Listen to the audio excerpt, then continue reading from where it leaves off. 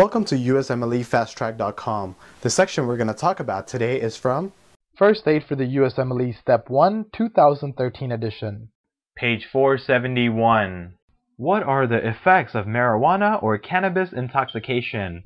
The effects of marijuana or cannabis intoxication includes euphoria, anxiety, paranoid delusions, perception of slowed time, impaired judgment, social withdrawal, increased appetite, dry mouth, conjunctival injection, and hallucinations. What is conjunctival injection? Conjunctival injection just means that something that makes the eye appear red or swollen. What is the prescription form of cannabinoid?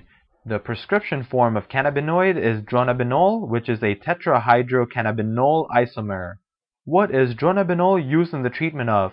Dronabinol is used as an antiemetic in chemotherapy as well as an appetite stimulant in AIDS patients.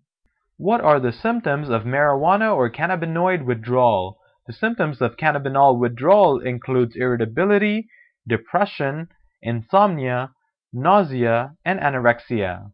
Describe the time frame in which the cannabinoid withdrawals peak and how long they last.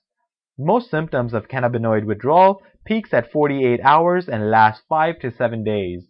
How long is marijuana detectable in the urine? Marijuana is detectable in the urine for 4 to 10 days.